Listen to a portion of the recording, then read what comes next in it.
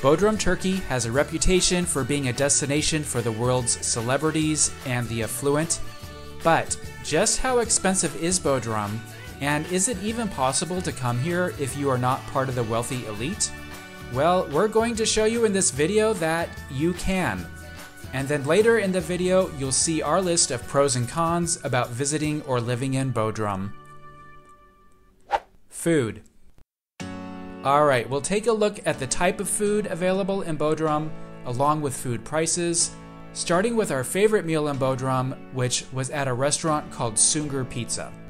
And yeah, the pizza looked good, but we didn't come for the pizza. We came to this restaurant because it has a dish that is local to Bodrum called çökertme. It's usually made with sauteed beef, but we got the chicken version, what we loved about it is that the chicken is served on a bed of thin, crispy potatoes. It came with two kinds of Greek yogurt sauce, and it was, by far, our favorite meal in Bodrum. But also the most expensive meal, costing 120 lira or 6 US dollars and 50 cents.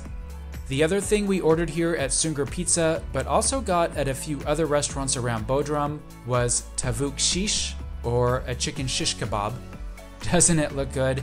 Yes, it really was as good as it looks. This is a very common food item around Turkey. It's usually served with grilled vegetables, rice or bulgur, and pita type bread. The price here at Sungur Pizza for this was $5. Next, let me show you a restaurant we think you would enjoy called Akyıldız Karadeniz. And we recommend it because it has delicious home style cooked food, as you can see here. We ordered kufte, which is a Turkish version of meatballs, and this particular version was served in a butter garlic sauce with carrots, potatoes, and herbs. The price for this dish was $3.50. The restaurant was in a touristy area, but still had reasonable prices. Now, one place we went that is totally not in a touristy area was Torba Cafe restaurant. It's in the owner's backyard along with the roosters and his pets. And the meat is cooked on his backyard barbecue grill, so it's super fresh and tasty. It was about $2.50 for this huge chicken shish kebab put into a wrap with tomatoes and onions. Next up is the great traditional Turkish breakfast we had with different breads and cheeses and olives and dipping sauces. And our favorite of those was the honey because it is a special honey local to this area that bees make from the sap of pine trees instead of flowers. The entire breakfast was about $4 each for all of this food you see here, and you can get a breakfast like this all around Turkey, not just here in Bodrum. Now, our cheapest meal in Bodrum was at Shaw Doner, where we paid just over $1 for a delicious and huge chicken doner sandwich that filled our tummies with pure happiness, and I'm sure it would do the same for you. Activities. Of course, one of the top things to do in Bodrum is to visit the waterfront, the marinas, and the many beaches in the area now, the beach in Bodrum itself was particularly narrow, not too much room for people. The beach and shoreline along Yahşi Beach are a little bit bigger and can accommodate more people compared to Bodrum. And then the beach at Turgut Reis was our favorite of those that we visited because it was bigger, had more sand and less rocks, and the sunset. Oh, just amazing promise me if you come to Bodrum that you won't miss this beach to see the sunset. Now, for the tourist activities, the most popular thing is probably the Bodrum Castle and Museum, and it's huge. You could spend several hours exploring all of the different parts of the castle, as we did. The price? About 8 US dollars for the entry fee. Another popular site to visit is the Halikarnassus Mausoleum, now as you can see in the video here, there isn't too much remaining of it today, but here's what it looked like in the year 350 BC. So yeah, it deserves its classification as one of the ancient wonders of the world. The entrance fee? Get out your wallet, the entrance tickets were a whopping $1.25 per person. And even cheaper is the Halikarnassus Colosseum, which is free, and about a 15 minute walk north of the mausoleum. Even the goats enjoy visiting this Colosseum. And also free is a visit to Myndos Gate. Not too much to see here, but it won't cost you even one single lira. Housing. Let's take a look at some of the housing options and prices. First, if you love it here so much and want to purchase property, the prices, as you can probably guess, are going to depend on the location. If you are on a budget, we suggest a location more inland and away from the water.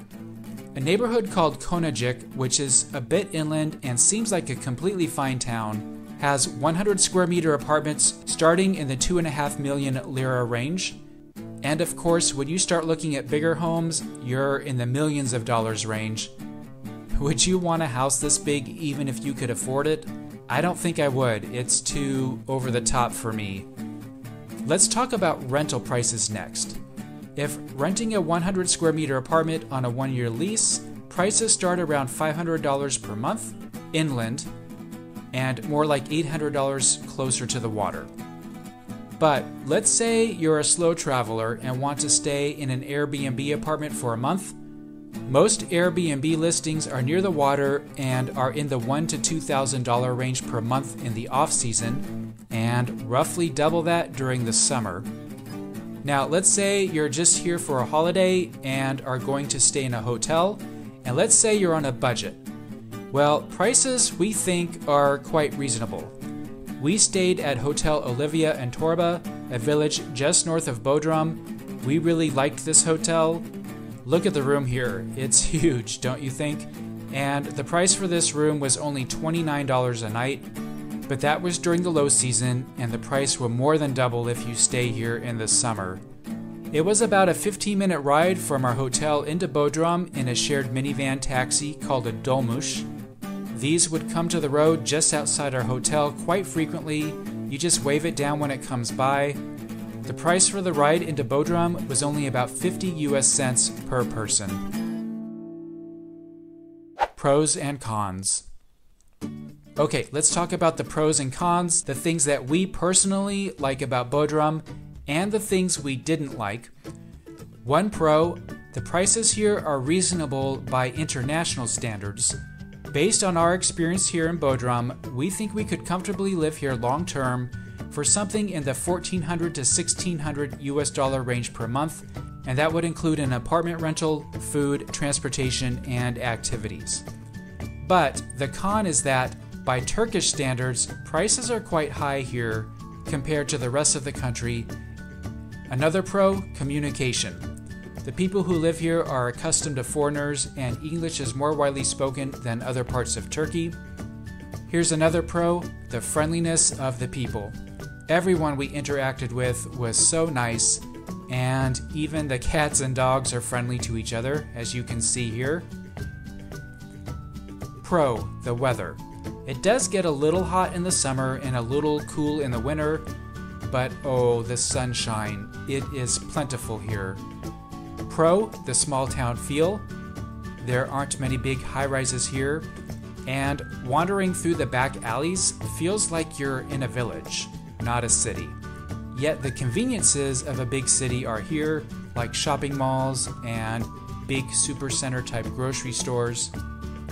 Okay, here's a con. There can be some traffic jams here. We got stuck in a few when riding around, and we were here in the off season a little bit of the small town charm is lost due to the traffic, we think. Overall, we think the pros far outweigh the cons. We would not hesitate to recommend Bodrum to anyone considering a holiday here or living here long term. Now, for more about our list of pros and cons for living in Turkey in general as a country, check out our video on our channel page.